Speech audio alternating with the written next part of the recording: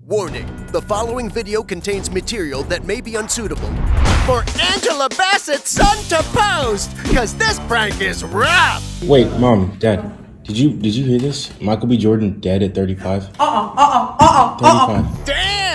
Michael B. Jordan's not dead, but this kid's about to be. You know, it's been going around on TikTok that people are doing these like fake celebrity deaths to get a reaction out of people. And some people's reactions are Oprah Winfrey dead at 68. No! are to ignore the news and eat a bowl of cheese. He's sad on the inside. But back to Angela's 16-year-old son, Slater. You see Angela Bassett and her husband, Courtney B. Vance, they're coming into the house. Yeah.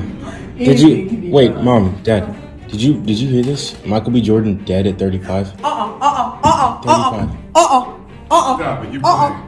It's pretty funny. But his mom actually lost someone on a movie. Yes, Angela worked with both the late Chadwick Boseman and Michael B. Jordan on Black Panther. I thought she was gonna faint. But instead, Angela grabbed the phone and.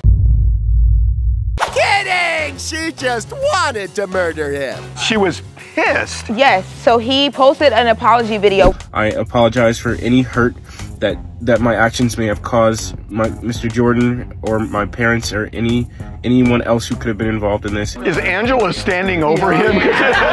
It- this sounds like a hostage video. It's like that moment where you're out in the store and your mom looks at you like, stop playing with me in here.